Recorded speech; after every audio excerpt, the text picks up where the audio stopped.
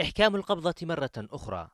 أعلن التحالف العربي اليوم إغلاق كافة المنافذ البرية والبحرية والجوية لليمن للحد من تهريب الأسلحة للإنقلابيين كما جاء في بيان التحالف. خطوة عدها البعض مؤشرا على جدية التحالف في التصعيد العسكري وتحرير ما تبقى من مناطق سيطرة الإنقلابيين. فيما عدها البعض الآخر خطوة متأخرة عسكريا وقد سبق أن اتخذها التحالف ولم تفضي إلى نتائج ملموسة. ما يتفق عليه الجميع أن خطوة كهذه تفاقم الأزمة الإنسانية في اليمن. لا سيما واليمنيون يعيشون ظروفا صعبة ولم يتبق لهم سوى مطاري عدن وسيئون ومينائي عدن والحديدة البحريين بالإضافة إلى منفذ الوديعة البري.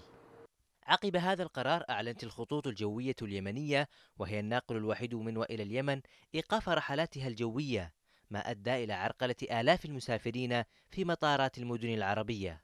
ماذا يريد التحالف هذه المرة؟ التطورات التي حدثت في الرياض بالإضافة إلى وصول صاروخ لمطار الملك خالد من قبل الحوثيين تبدو معطيات تفسر هذا القرار بيد أن طبيعة الخطوات التي ستعقبه خلال الأيام القادمة هي ما ستؤكد إذا ما كان بن سلمان قد حزم أمره فعلا هذه المرة وليس بعيدا عن السياق حيث قامت قوات التحالف باعتماد مكافآت مالية لمن يدلي بمعلومات عن أربعين شخصية من قيادات ميليشيا الحوثي.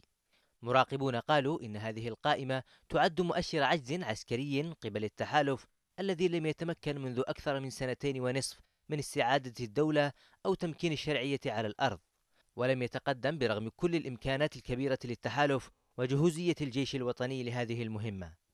خلو قائمة التحالف من المخلوع صالح وقياداته العسكرية يضع علامات استفهام كبيرة ويعزز الآراء التي تقول إن التحالف يرغب بالاحتفاظ بالمخلوع وأدواته رغم كونهم حليفي الانقلاب والرعاة الرسميين له حصار عسكري وقوائم عنوانان ينتظر أن يكون لهما ما بعدهما على أرض الواقع فهل تعيش الحرب في اليمن بداية فصلها الأخير؟